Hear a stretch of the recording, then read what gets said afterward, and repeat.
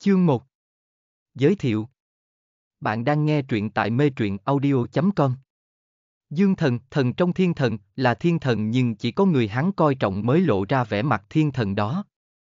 Còn những người khác chỉ thấy đó là ác quỷ đội lốt thiên thần, Diệp Cẩm Lạc, nữ sát thủ đứng đầu một thời. Rửa tay gác kiếm trở về cuộc sống bình thường nhưng điều đó lại cướp đi sinh mệnh của nàng và mẹ nàng, nàng cùng mẹ xuyên về thời cổ, hai người hai thân phận cao quý nhưng mấy ai biết được kết cục của họ thế nào, hắn hận nàng, nàng yêu hắn, hắn yêu nàng, nàng hận hắn, đoạn tình cảm này muốn dứt ra nói thì dễ làm được thì khó, đắm chìm trong đó càng làm nàng đau khổ hơn, cuối cùng. Nghe trọn bộ tại mê truyện audio.com, link trực tiếp ở phần mô tả.